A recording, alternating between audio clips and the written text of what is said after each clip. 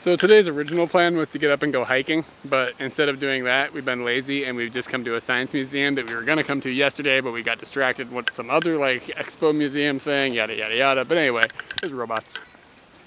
These are really large robots. And that's pretty nice. I, I, I'm hoping there's a button to turn one of them on. So you got this little mouse here, and then you've got his buddy. This giant scary warrior. what? Cow. No, I guess it is a it's a it's a bull. So year of the rat, year of the tiger. Okay, it's a Chinese zodiac thing. For the dragon guy. Yeah. This is this is for the dragon guy.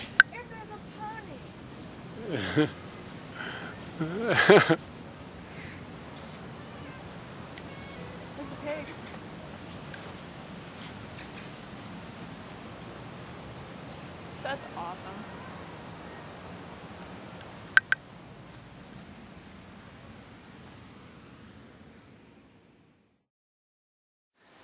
Alright, so Eric went to the store and he came back with whatever the fuck this is. Notice that the top is nice and pink and the bottom is sludgy purple.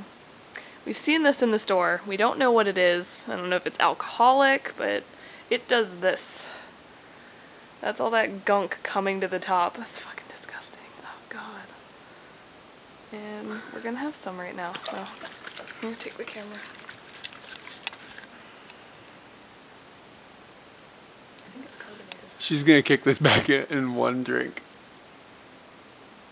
No, I'm Uh, not. otherwise, she's sleeping outside.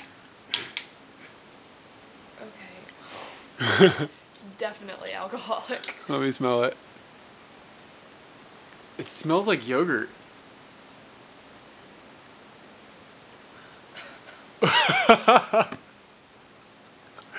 It, it tastes like that wine in a box.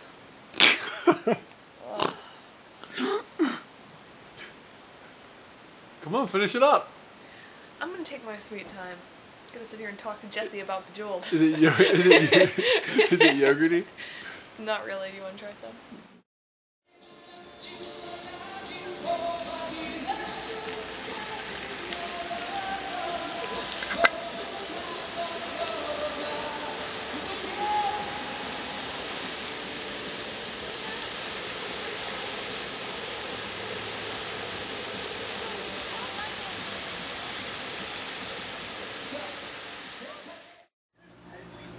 So this is live television of a StarCraft game that's going on in Korea. This game came out in 1998. Why? Why is this still a national obsession? What is wrong with these people?